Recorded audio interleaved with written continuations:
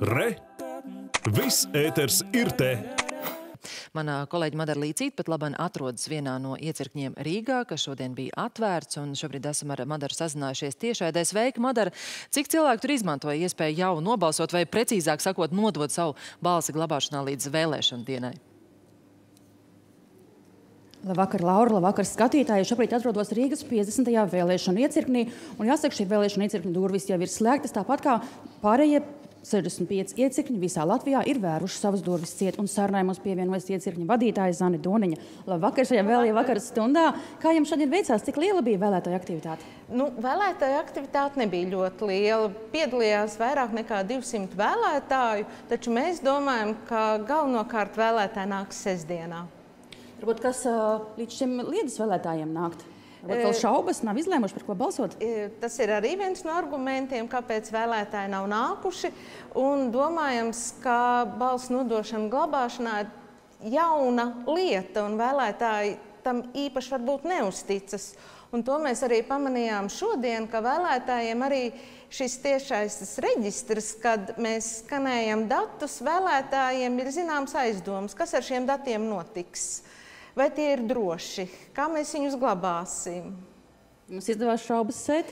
Mums tas izdevās, jo tiešais reģistrs strādāja tiešām lieliski šodien, un kvalitatīva un informācijas apmaiņa bija pietiekami ātra. Tas nozīmē, ka nekāda aizķeršanās nebija.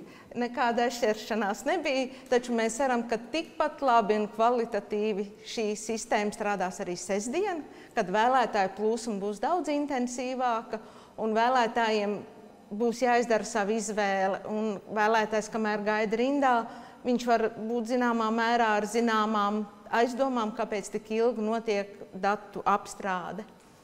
Vēlētāji varēs nobalsot vēl ceturtdienu un piekdienu, bet tagad mums ir iespēja paklausīties, kādēļ vēlētāji izvēlējās un nāca šodien balsot. Tas ir mūsu pienākums visiem balsot.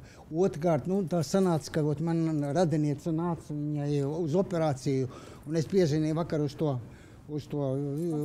Jā, jā, man teica, ka tur slimnīcā tas nav iespējams. Tādēļ mēs šodien tā izdarīsim. Un, un tikai tādēļ. Ilgi domājāt, vai balsosiet par tiem pašiem, kas jau ir pie varas, vai par kādiem jauniem? Nē, es esmu ļoti jautrs puisis. Es vienmēr man patīk, lai būtu pārmaiņas dzīvē. Gribējās jau laicīgi to visu izdarīt, un lai arī gribas ļoti cerēt, ka arī tiks sakārtot beidzot veselības sistēma, kā arī izglītībā viss tiks sakārtots. Es ilgi šaubījos, bet man ļoti palīdzēja izlemt raidījums aizliegtais paņēmiens. Kā, tas man palīdzēja izvēlēties to, to galīgo versiju. Es domāju, ka visi nenomainīsies, jo daļa ir labi, kas bija. Es domāju, ka arī jaunas vēsmas arī ir vajadzīgas. Es nevarēšu tā, ka man tajā dienā man jāstrādā. Ilgi domājat, par ko balsot? Nē. Droši vien tāpēc, ka nebūs Latvijā. Tāpēc. Tajā vēlēšana dienā. Jūs tā vienmēr balsojat par vienu vai šoreiz par kādiem citiem jauniem spēkiem? Uzreiz izdomāju un par to pašu, par ko izdomāju, par to balsoju. Nebūs, es nezinu. Jā, jā, tāpēc pacentos. Vai ilgi domājāt, par ko balsot? Nē, zināju jau sen.